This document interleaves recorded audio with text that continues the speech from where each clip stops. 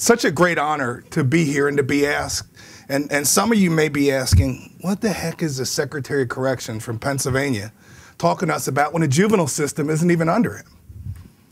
I'm not quite sure, tell you the truth. Um, but what I do know is that we're at a time in our country where just locking everybody up is not where we're at. Now, there's probably a bunch of reasons for it. Frankly, I just think we're out of money. And we can't afford business as usual.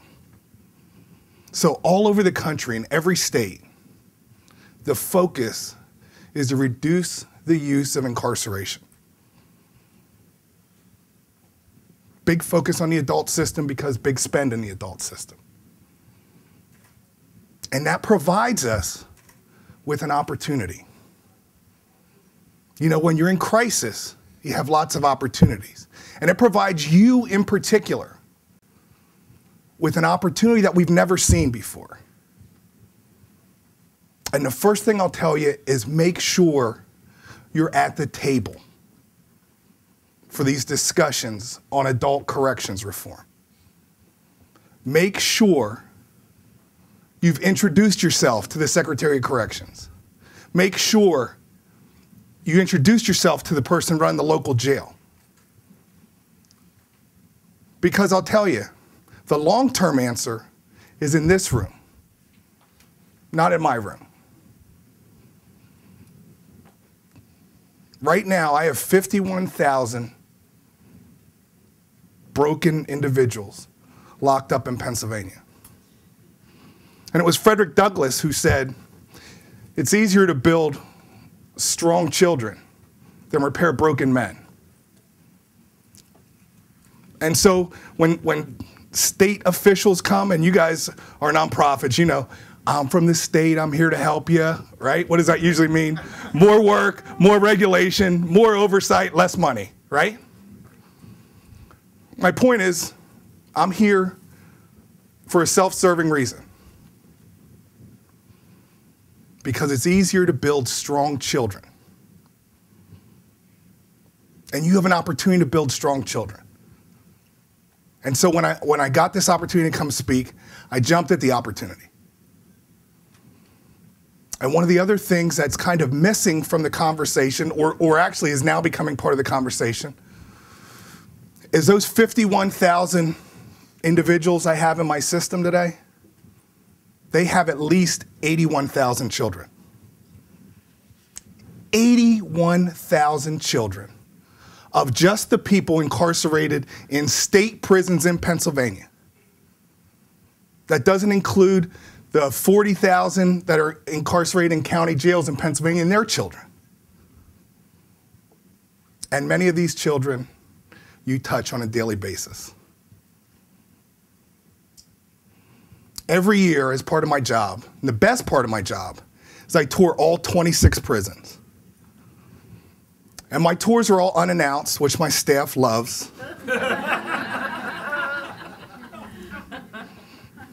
I started this about two years ago, and I was driving through a town and I got thirsty.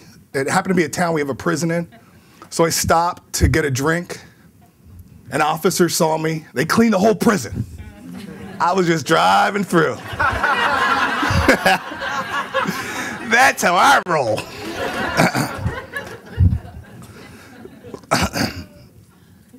but um, there's one prison tour a year I hate. And what you may not know about Pennsylvania is that Pennsylvania leads the country in juvenile lifers. So we're sixth in prison population in the country. Sixth by a long shot. I mean, uh, Texas, Florida, California, all about uh, three times our population. We have 500 juvenile lifers in Pennsylvania. And we have our juveniles in a prison um, called Pine Grove. And I dread that visit every year. And every year, that visit is the same thing. Now, when I come and do these unannounced tours, I spend about 20 or 30 minutes talking to the superintendent, giving him a chance to clean up some old, some new dirt. You can't clean up the old dirt in a half hour. The new dirt you can clean up a little bit. So I give him a little, little time to scramble. And then we walk through. And I walk through every uh, housing unit. I walk through the segregation unit. I, my executive deputy and I literally go to every seg cell in our system every year. Then I stand outside the chow hall and I talk to everybody who comes, all the inmates who went. So I literally talk to hundreds of inmates on my tours. But it's these juveniles, it's these kids who, if you get a juvenile in the adult system in Pennsylvania, they're generally serving a fairly long period of time 10, 15, 20, heck, 500 of them life, right? And you see these baby faces and many of them black baby faces. And I talk to these kids, and the consistent theme, I, I, I can quote it to you because I hear it every time. I go, Why are you here? Help me understand. Help me understand how you're doing the next 10, 20, 30, 40, 50 years of your life in a state prison. And I hear this response time after time Secretary, I'm going to be dead by 25. So what does it matter? Now, can you imagine? Can you imagine not thinking you're going to live longer than another five or 10 years? I don't know about you, but if I was going to die in a year, God forbid, I wouldn't have a savings account. Don't tell my kids. These kids have no hope. That light at the end of the tunnel, they think is going to run them over. And think about a life without hope. And think about a young man, the life without hope. We looked system wide. We looked, uh, we pulled all the data from education, and we looked at incarceration rate by school district and we looked at what the, the, the factors, we looked at reading levels, amount spent per student, uh, PSSA scores. We looked at every factor you could possibly look at.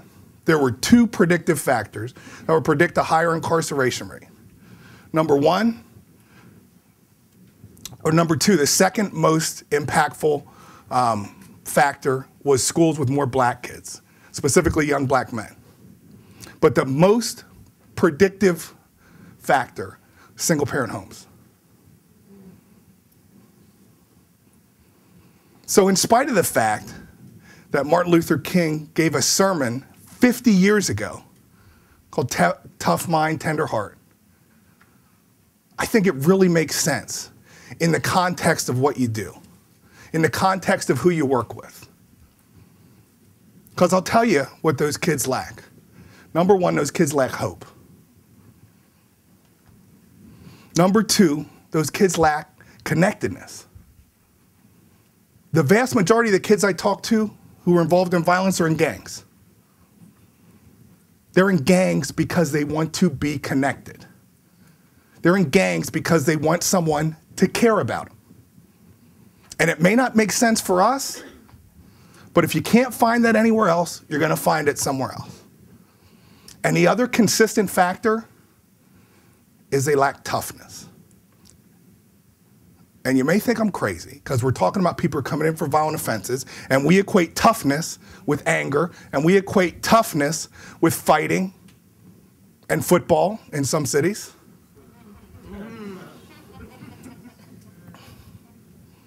But the toughness that I believe Dr. King was talking about is not that anger toughness.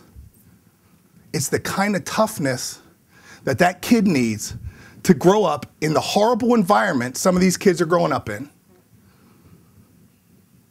We live in a country where your zip code and your parent, and sometimes the color of your skin dictates your future outcome. And we got to change that. And we have an opportunity to change that. And when he uses the analogy of the toughness of a serpent,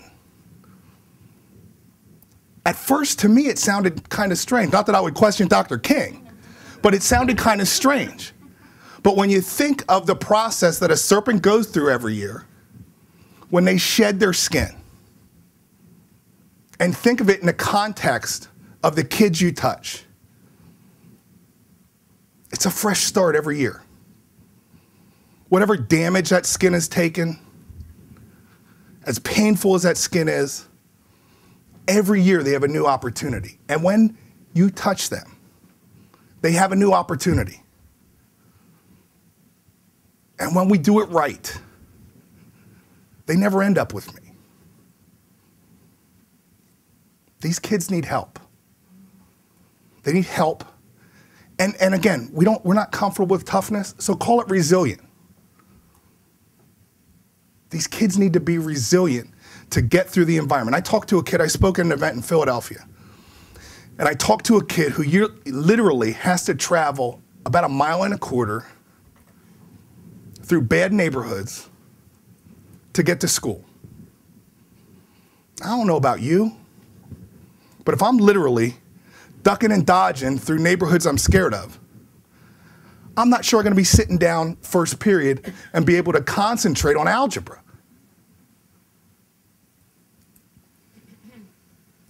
But we're likely not going to be able to change that situation, but we can change this situation. Because what we know is that life is not about what happens to us, it's about how we respond. But then when you add the factor that we lack guidance, especially for the young men, we don't have anybody who's guiding them to how to respond to these situations. So our goal really should be to build tough minds, resilient kids. And how do we do that? The second part a tender heart. These kids need love. And we get uncomfortable when we talk about love and our clients. Or love and I get really uncomfortable when we talk about love and inmates, trust me. but I got to tell you, you can't underestimate the power of love, of unconditional acceptance. And love is something that you can't explain to somebody. Love is something you have to show someone. And if, and if we have a, a young person in a bad situation, maybe touching your organization because of something they did, maybe touching your organization of something they had no control over, and we say, we want you to be a better person, we want you to love, we want you to care about people, and we don't show them that, how do we expect them to do that? So I think we have a great opportunity. And connection is really where it's at. We have to build a connection with these kids. We have to build a connection with each other's. The silos from the previous presentation, we have to knock those down. We have to empower these kids and in my department, and, and I bet in a bunch of your, your organizations, you talk a lot about empowerment. But there's an essential fact about empowerment. If you're going to empower someone else, that means that you have to disempower yourself a little bit. We're not so good with that part. So if we want to um, empower these young individuals, on some levels, we have to disempower ourselves. We have to build a rapport, we have to build connection, and then we have to show them Build that strong mind, but also build that tender heart. And I'll leave you with this. I stole a lot from MLK, so I'm going to steal one more. and he talks about that for us to really live, we shouldn't focus or be fettered by our individual concerns. But to really live, we need to focus on the concerns of all of humanity.